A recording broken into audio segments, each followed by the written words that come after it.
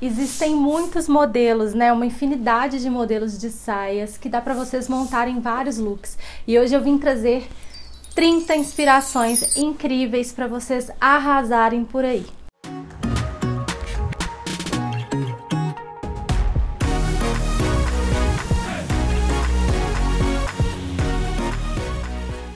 Oi meus amores, tudo bem com vocês? Eu trouxe mais um vídeo da nossa série de inspirações de looks, né? De modelos incríveis de looks. Eu já fiz de blusa, já fiz de calça, eu trouxe de saia. Espero muito que vocês gostem, então deixa pra mim muito like, se inscreve no canal, compartilha com aquela sua amiga que ama saia. Se vocês quiserem parte 2, parte 3, eu posso trazer desse vídeo pra vocês, tá bom? Primeiro eu queria falar sobre a saia longa, que elas são super comuns no guarda-roupa de qualquer mulher mas sempre geram dúvidas de como ser usada com elegância. Existem modelos estampados, lisos, cores vibrantes e cores neutras. São super versáteis, pois seu comprimento permite o uso até mesmo em dias frios, mesclando com botas. Quem me acompanha aqui mais tempo no canal sabe que eu sou a favor de peças lisas, porque as peças lisas vocês conseguem é, usar com outras peças com mais facilidade. Por quê? Você compra uma saia longa lisa, você consegue adicionar um cinto, uma bota de cor. Dá para você misturar e dá para você usar várias vezes sem você se cansar. Não quer dizer que você não pode usar estampa, não existe isso, tá, gente? Vocês podem usar o que vocês quiserem. Mas a peça lisa, quando você não tem nada no guarda-roupa, vamos supor que só tem estampado. O estampado vai te limitar um pouco e as peças lisas, elas te possibilitam várias combinações. Então eu acho legal você investir.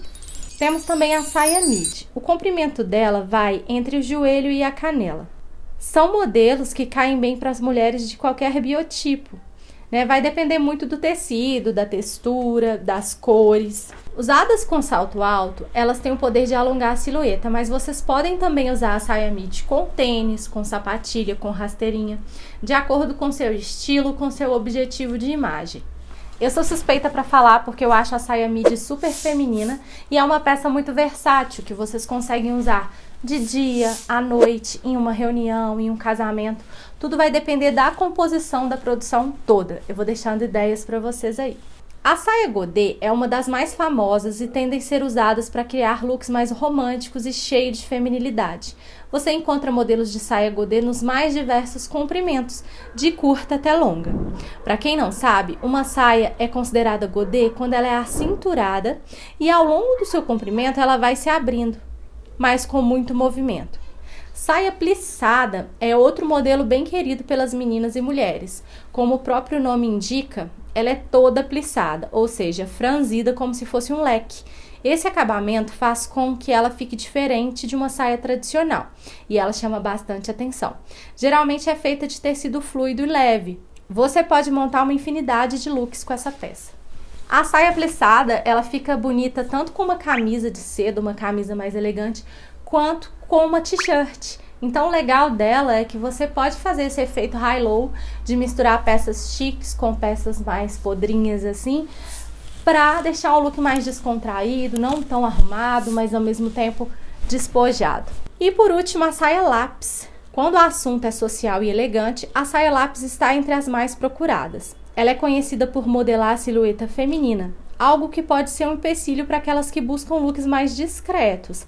A saia lápis normalmente tem um comprimento na altura do joelho. Tem umas que são um pouquinho mais compridinhas também. A saia lápis, meninas, geralmente ela é mais justinha ao corpo. Então tem pessoas que não gostam tanto porque ela evidencia a região do quadril. Mas dá para você também usar de várias formas. Esse foi o vídeo, meus amores. Eu espero que vocês tenham gostado. Se quiser parte 2, comenta muito aqui para trazer para vocês, tá? Muito obrigada, até o próximo vídeo.